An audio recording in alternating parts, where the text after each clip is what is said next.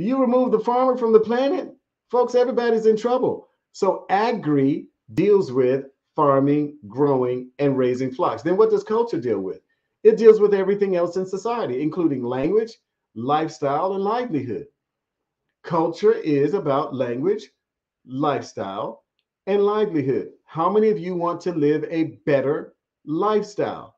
The answer is all of us. So then what do you need? You need agriculture or agri to work because if it does not work, neither does one eat. So Jesus went, check it out now, to or came to the planet at a time when agriculture dominated the economy. Today it's Silicon Valley or oil or the economic engine of IT, all of which have their place in